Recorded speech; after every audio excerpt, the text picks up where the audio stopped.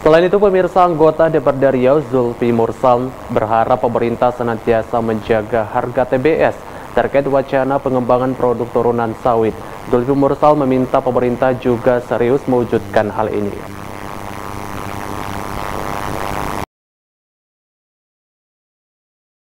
Tim Penetapan Harga Tandan Buah Segar atau TBS Sawit Provinsi Riau merujuk Surat Penetapan Harga TBS Kelapa Sawit Provinsi Riau nomor 21 periode 31 Mei sampai 6 Juni 2023 telah menyepakati harga sawit Riau umur 10 sampai 20 tahun turun 43,67 rupiah per kilogram menjadi 2.246,64 rupiah per kilogram.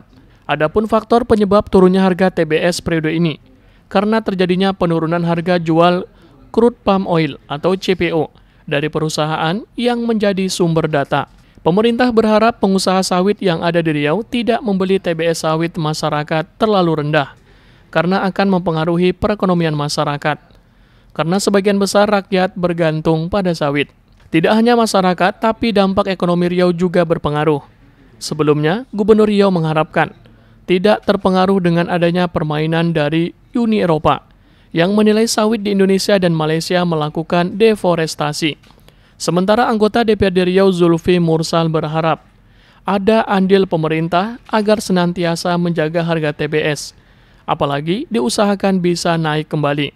Jangan sampai terjadi inflasi di Riau karena sawit adalah salah satu urat nadi ekonomi yang cukup penting. Terkait wacana pengembangan mewujudkan hal ini, jangan sampai ini sekedar menjadi wacana di atas kertas atau kegiatan seremonial belaka pengembangan produk turunan sawit penting agar pendapatan sawit petani tidak hanya dari CPO. Kan kita kan sangat bergantung pada sektor sawit, walaupun memang mengalami penurunan kan petani-petani ini pasti merasa ah, dia semakin turun lagi seperti seperti itu. Kayak mana nih Pak? Ya, menengok tren eh, TBS di tengah masyarakat ya tentu eh, karena memang komoditi sawit ini komoditi yang sangat uh, pokok bagi masyarakat petani khususnya di wilayah Riau ini karena memang luas lahan sawit kita di Riau ini sangat besar, sangat luas dan juga uh, kebutuhan dan kepentingan masyarakat dengan sawit ini sangat sangat tinggi uh, untuk memenuhi kebutuhan hidup dan sebagainya. Tentu kita berharap uh, ada andil dari pemerintah untuk senantiasa menjaga stabilitas harga TBS sehingga nanti masyarakat bisa e, merasa lega eh, ketika harga sawit ini tetap stabil. Apalagi kalau bisa di, diusahakan untuk mengalami kenaikan harga. Kalau sudah turun sedikit saja tentu ada hal-hal yang dicemaskan oleh para petani.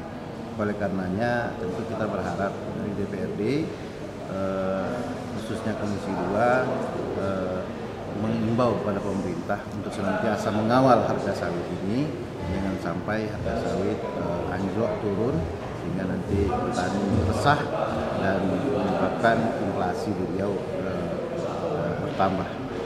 Pak kemarin kebijakan produk turunan sawit itu bagaimana Pak? Apakah sudah berjalan atau tidak sebenarnya sudah masih wacana-wacana? Kita melihat di lapangan masih sekedar wacana belum ada action tertentu yang dilakukan oleh pemerintah. Oleh karenanya ya hal-hal yang sudah direncanakan mudah-mudahan langsung dibuat action plan. Setidak-tidaknya ada perencanaan yang yang mengarah kepada aksi realisasi. Kalau seandainya anak ngomong saja itu sama sama saja dengan dengan apa diskusi-diskusi, simposium, seminar yang hasilnya juga tak ada, cuma dituangkan dalam kertas tak ada artinya di kertas yang ada artinya itu kalau seandainya memang e, langsung bersentuhan dengan masyarakat artinya mesti direalisasikan apa yang sudah. Bapak kita mendorong pemerintah provinsi Riau gubernur. Ya kita mendorong, mendorong apalagi e, apa e, masa jabatan gubernur yang sudah e, sangat kasif yang sudah mau berakhir oleh karenanya tentu kita menyemangati memberikan support kepada pemerintah provinsi khususnya gubernur wakil gubernur yang periode ini akan segera berakhir untuk mengejar ketertinggalan ketertinggalan dan melaksanakan secara uh, sekuat tenaga semampu uh, ya ikhtiar yang kuat lah yang tinggi untuk mewujudkan eh, rencana-rencana yang sudah disampaikan ke masyarakat. Nah ini kan kita berharap gubernur, wakil gubernur meninggalkan presiden yang baik, presiden yang baik ke masyarakat untuk menjadi kenangan bagi masyarakat bahwa masa gubernur periode sekian eh, sudah memberikan hal yang baik kepada masyarakat. Diharapkan segera ada progres dan hasil nyata produk turunan sawit juga menjadi pendapatan utama masyarakat. Fresti dan Randi melaporkan.